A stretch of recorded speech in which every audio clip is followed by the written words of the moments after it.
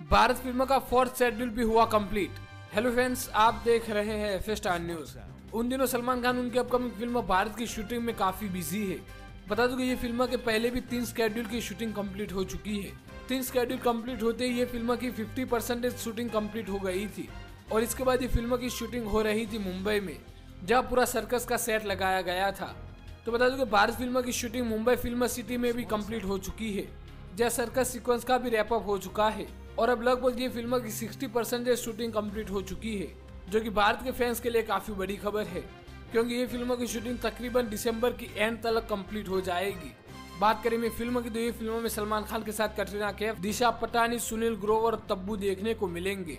और ये फ़िल्मों में हमें इमोशनल एक्शन हर कुछ देखने को मिलेगा। और ये फ़िल्म रिलीज़ होने वाली है अगले साल ईद पर। तो फ्रेंड्स आप क्या कहेंगे इस न्यूज़ को लेकर और आप कितने एक्साइटेड है भारत फ़िल्मों को लेकर, वो हमें कमेंट करें। ये न्यूज़ पसंद आए तो उसे लाइक करें। आगे की खबरें के लिए एफ़ न्यूज़ को ज़रूर सब्सक्राइब करें।